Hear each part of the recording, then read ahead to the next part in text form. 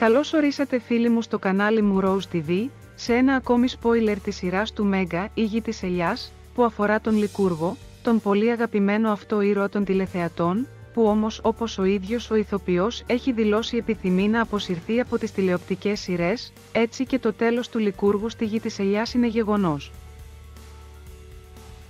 Το τέλος του Λικούργου στη σειρά «Η γη της ελιάς» αναμένεται να παρακολουθήσουμε ήδη από τα πρώτα επεισόδια του β' κύκλου της σειράς, ένας β' κύκλος που όπως όλα δείχνουν είναι πλέον οριστικός, μόνο που από αυτόν θα λείπει ο Λικούργος, ενώ δεν έχει διευκρινιστεί ακόμη ούτε έχει γίνει γνωστό, με ποιον τρόπο θα αποχωρήσει ο ηθοποιός από τη σειρά.